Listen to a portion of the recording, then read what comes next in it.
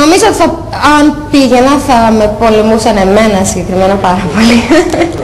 Εσένα συγκεκριμένα πάρα πολύ γιατί; Γιατί το λες; Γιατί εσένα; Γιατί γενικότερα με έχουν όλες, όλα τα χρόνια που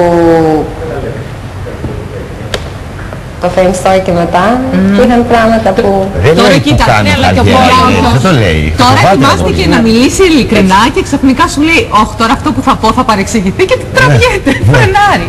Ξαφνικά απέκτησες πολύ φρένο στη ζωή σου, Μάρο, ε. Ναι. Ο πόλεμος έχει και τα θετικά του όμως. Δηλαδή δεν πρέπει ένα πόλεμο να το βλέπεις μόνο από την αρνητική πλευρά. Ακόμα και το αρνητικό, εγώ είμαι- είμαι υπέρ ακόμα και της αρνητικής Ναι, διαφήμιση. αλλά προφανώς όμως αυτό όλο που έχει συμβεί με τη Μάρο την έχει καταβάλει. Δηλαδή Ναι, αισθάνεσαι πολύ, πολύ αυτό- κουρασμένη, αυτό φαίνεται. καταλαβαίνω εγώ από όλο αυτό. Φταίει έτσι. κάποιος γι' Με αυτό. έχει κουράσει, γιατί παραδείγματος χάρη έχω κάνει συνεντεύξεις με εσάς πολλές. Και μετά έβλεπα αυτές τις συνεντεύσεις ή έχω κάνει μια συνέντευξη π.χ. με τον, με τον Νίκο Γεωργιάδη που είναι και καλός μου φίλος και μετά το παίρνουν αυτό ή παίρνουν αποσπάσματα από αυτά και το κάνουν όπως θέλουν. Ναι, αλλά τα λες. Και το βγάζουν αρνητικό που ήταν κάτι πάρα Μα, πάρα Μαρό, Αυτό Μαρό, γίνεται στις παντού συνεντεύξεις, όμως. συγγνώμη, στις συνεντεύξεις αυτές εσύ μιλάς πρώτον και δεύτερον θεωρείς ότι η διαχείριση της εικόνας σου από κάποιους συνεργάτες σου ε, ήταν τέτοια που ε, δεν σε ικανοποίησε; I'm sorry. Λέω ότι στις συνεντεύξεις αφενός μεν τα λες εσύ, Ναι. αφετέρου θεωρείς ότι υπήρχαν άνθρωποι γύρω σου οι οποίοι δεν διαχειρίστηκαν σωστά την εικόνα σου και αυτό το πράγμα το πληρώνεις εσύ με αυτή την απότομη προσπάθεια αλλαγής της εικόνας σου; Γιατί τον αφο... Ε, Γιατί εγώ βλέπω δεν ένα ξέρω φοβισμένο ποιος άνθρωπο φταίει, Δεν απέναντι ξέρω μου. ποιος τώρα. φταίει και τι φταίει. Μπορεί να φταίω κι εγώ. Αυτή τη στιγμή θα πάρω εγώ την ευθύνη γιατί δεν μου αρέσει να, να ρίχνω την ευθύνη σε κανέναν. Η δικ- δικιά μου ήταν η ζωή. Είμαι αρκετά μεγάλη να ξέρω τα βήματά μου. Δεν, δίνω τη ζω- δεν αφήνω τη ζωή μου στα χέρια άλλων ποτέ. Οπότε, εάν με κατευθύνανε κάπου και τους πίστεψα, whatever, η ευθύνη την ρίχνω πάνω σε μένα. Εγώ το έκανα. Εγώ τους άφησα να με ευθύνουν εκεί. Οκ, Μάρο, τώρα πάμε στον Στέφανο, ο οποίος Αυτά έχει. φρένα λοιπόν, να την πάμε λίγο στα γκάζι. Έχουμε εδώ και τη Φλόρα του Θεοδόρου, έχουμε και το Φέβανο του Κεφαλαίου, ο οποίος τραγουδάει. Οπότε θα σου πάμε σε κάτι πολύ δυνατό.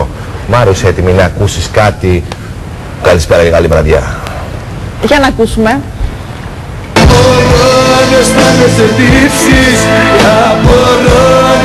αισθάνεσαι τύψεις Όταν πας ξένα χέρια να αγγίξεις Όταν πας Λοιπόν, αυτός είναι ο Βασίλης Καράς, αγαπημένος, ένα από τα πολύ, πολύ λατρεμένα Καταπληκτικός τραγούδια. καλλιτέχνης, πρέπει να πω καταπληκτικός άνθρωπος. Δεν τον ήξερα πριν και τώρα που τον έχω γνωρίσει, τον έχω λατρέψει. Είναι τόσο καλός, τόσο καλός και βοηθάει τόσο πολύ και είναι πάρα πολύ αστείο.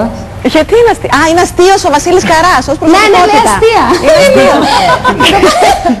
Γιατί λέω, μπερδεύτηκα κι εγώ, σε βλέπω έτσι που είσαι μαγκωμένο και έτσι κάπως. Όχι, δεν είμαι μαγκωμένη, έχω ένα νεύρο πιασμένο στην πλάτη και κάθομαι κάπως, να σου πω την αλήθεια. That's the truth, το έχω στον αέρα. Πες το αγάπη μου ότι Προσπαθώ υπάρχει τώρα ένα να νεύρο. κάτσω κάπως για να μην με πιάσει αυτό και να κάνω on air. Ε, Ναι, αλλά ξέρεις, εμείς σε βλέπουμε τώρα που είσαι έτσι κάπως, είναι και το μαλλί Είμαι σου. κάπως γιατί δεν θέλω να σάνω. Είσαι ναι, όχι, όχι, ναι, λέμε κάτι συμβαίνει. Λουμπάγκο, Πες μας ότι είναι το λουμπάγκο. νεύρο στην πλάτη να αναθαρίσουμε. Είναι Γιατί το να πούμε δεν νεύρο κάνουμε στην τίποτα. πλάτη. Λοιπόν, τι γίνεται με το Βασίλη Καρά, για πες μας. Έχουμε σχέση, I'm joking.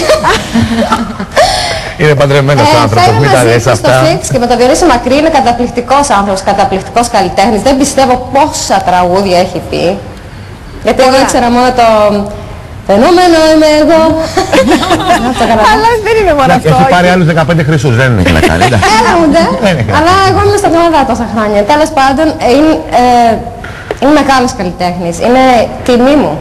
Μμμ, Πολύ μεγάλη τιμή μου. Χάνει την πίστα μαζί με τον Βασίλη Κάρα γιατί είναι από, τους, από τα λίγα μεγάλα ονόματα που αυτούς που λέμε δεύτερα, τρίτα ονόματα τους καλείς στην πίστα και τραγουδούν μαζί. Θα είστε μαζί; Αν θα έχει ντουέτο εννοείς. Ναι, να κάνουν ντουέτο, ναι.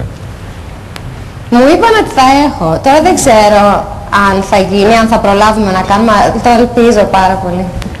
Και πότε ξεκινάτε, Μάρο μου. Την Παρασκευή. Α, τώρα την Παρασκευή. Ναι. Ε, Εντάξει, και δεν ξέρεις από τώρα μέχρι την Παρασκευή αν θα κάνετε ντουέτο, ρε Μάρο. Ούτε αυτό δεν μας Δεν έχω λέει. ξεκινήσει είναι πρόβες, γι' αυτό έκπληξη. ήρθα στη Θεσσαλονίκη. Μπορεί να είναι η μεγάλη έχει έκπληξη, να το ξεκινήσει. περιμένουμε. Α, Γιατί- μπορεί να Μπορεί το, να έχει να το να κάνει και κρατάει. με τη δισκογραφική. Ωραία, τώρα άλλαξα. Πάμε, θα σας τα απαντήσω όλα. Ωραία. Το είπα αυτό τώρα το κομμάτι. Οπότε είναι η σειρά του Νάσου. Πλάκα μας Αλλά, κάνεις. έτσι. Ωραία, τότε θα σε πάρουμε από εκεί. Απορώ αν αισθάνεσαι τύψεις τραγουδάει ο Βασίλης Καράς. Εσύ αισθάνεσαι τύψεις για τίποτα που έχεις κάνει στη ζωή σου, Μάρο μου; Όχι, αισθάνομαι τύψεις για πράγματα που δεν έχω κάνει. Τι θα έπρεπε να έχεις κάνει και δεν έχεις κάνει το τελευταίο διάστημα; Πάρε με τηλέφωνο στα πω. Α, ορίστε, κατάλαβε. Αυτά, να σου πω γιατί, γιατί είναι κάποια πράγματα που στον αέρα δεν μπορώ να στα πω. Ε, Πραγματικά δηλαδή, τι μπορεί Μου να είναι αρέσει αυτό; πολύ ο Μη- τρόπος που σκέφτεσαι. Δηλαδή πραγματικά ότι δεν αρέσει μπορούν να πάρα ακουστούν πολύ ο στον τρόπος αέρα. που Άρε Μάρο, λοιπόν, σε ευχαριστούμε πάρα πολύ Να που είσαι ήσουν καλά, κοντά Κατερίνα. μας. Καλή Ευχαριστώ και εγώ. επιτυχία.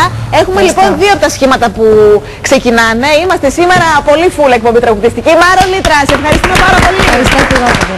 Την Παρασκευή με τον Βασίλη Καρά και το Διονύση Μακρύ.